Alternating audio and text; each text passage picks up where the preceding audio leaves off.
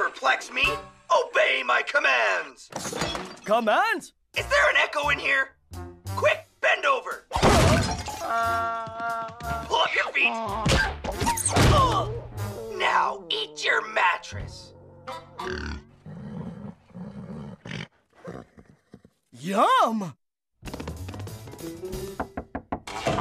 Excuse me, Ed, but is this your... Good lord, man!